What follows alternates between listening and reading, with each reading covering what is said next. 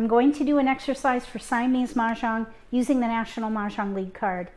This exercise is called random pulls because we're going to take 28 and 27 random tiles, respectively, in three iterations and practice identifying the strength in a dealt hand. That means two hands at once for Siamese Mahjong.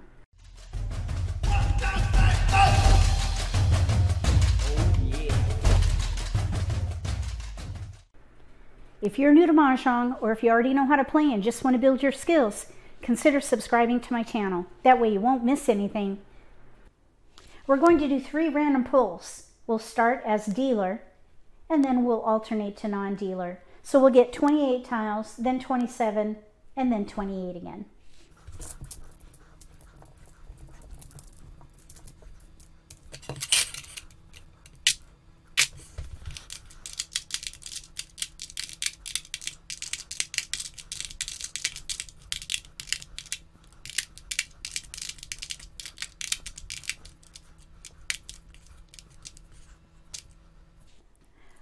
Okay, we have a joker, three flowers, west south pair of wests. We have a green dragon. In cracks, we have one, three, four, six, seven, eight, nine, pair of ones. In BAMs, we have four, five, six, nine singles. In dots, we have one, four, five, six, eight, nine, pairs of ones and nines. If these were your tiles, what would you focus on and what would be your first discards?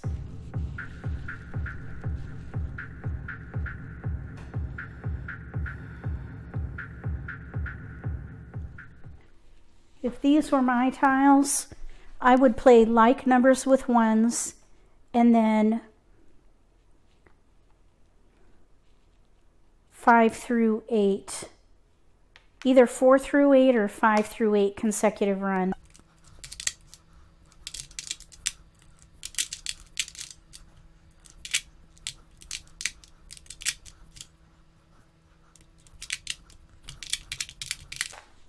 I changed my mind. Five through nine. That way we can leverage the pair of nines. Somehow. We could even maybe play big odds. Five, seven, nine. So here we're going to need one BAM, but we could use the joker to help there. And down here, I would just gather five through nine, focus on nine, and see if we could play either big odds or five through nine of some kind in consecutive run. We have options here, eight discards with options for consecutive run. If you would do something different with these tiles, write it in the comment section below.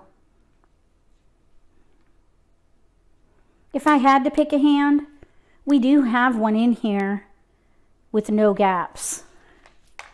Six, seven, eight, nine, nine. Six, seven, eight, nine, nine, no gaps. But I wouldn't pick a hand. I would just gather, focus on those nine dots and see what other multiples form.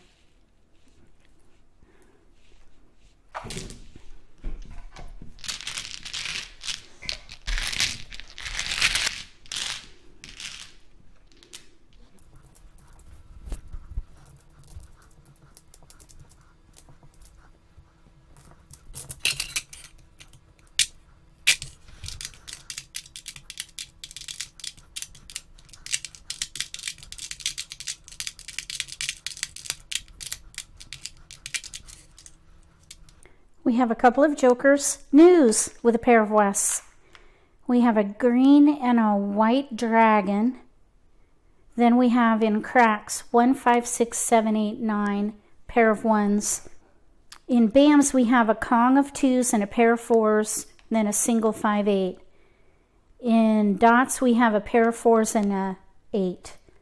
If these were your tiles, what would you focus on?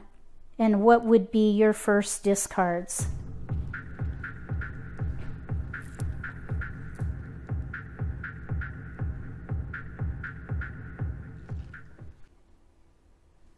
If these were my tiles, I would play a news pair hand with either eights or fours and then a year hand, leveraging the two.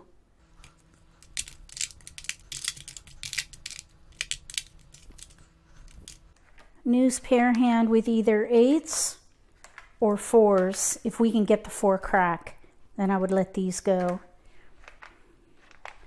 So I would discard those.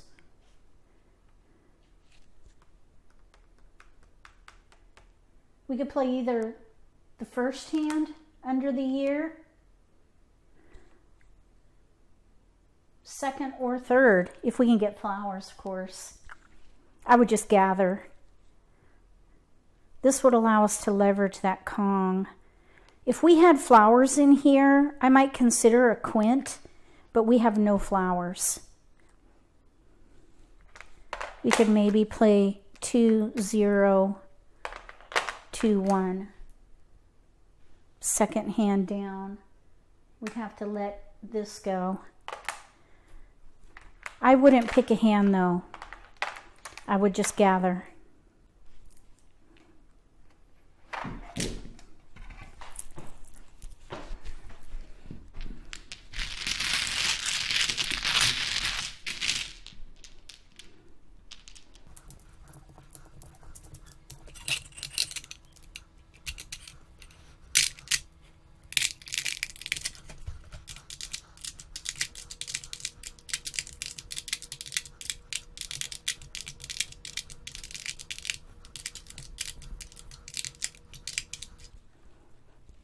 We have news with a pair of Wests. Pair of green dragons, one, three, four in cracks. One, three, five, six, eight in BAMs with a pair of threes. In dots, we have the full run, one through nine. We have a pung of threes and a pair of sixes. If these were your tiles, what would you focus on and what would be your first discards?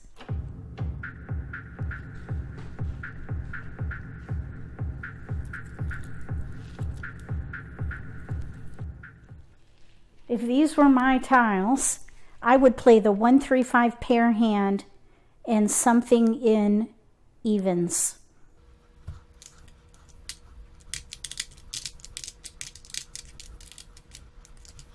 We kind of have three hands going because we could play east and west with dragons or even the concealed hand if we get other dragons. I would discard these first see about playing this 135 pair hand, we would need to discard the 3. Up here, I would just gather 2, 4, 6, 8, and I wouldn't pick a hand. One thing I was thinking is what we might be able to do is keep east and west, and if we get sixes, we could switch to east and west with sixes. Hold this for joker bait. So maybe discard these four first. Focus on 2, 4, 6, 8 or east and west with sixes. That would leverage that multiple there. Siamese Mahjong is very challenging. Some people think it's too easy because you have all those tiles to play with, but you have an opponent with 28 or 27 tiles also. And so you're building two hands each. You're vying for the same tiles. The game is just as challenging as the four player game. If you haven't tried it yet, look for a link in the video description below to a demonstration and the rules. If you like this video, give me a thumbs up. If you haven't subscribed to my channel, consider subscribing. Click the little gray bell if you do. That way you'll get notification for when I post new videos and you won't miss an opportunity to learn a new strategy or pick up an insight to the game that could give you an advantage at the table. Between now and the next video, may all your picks be keepers.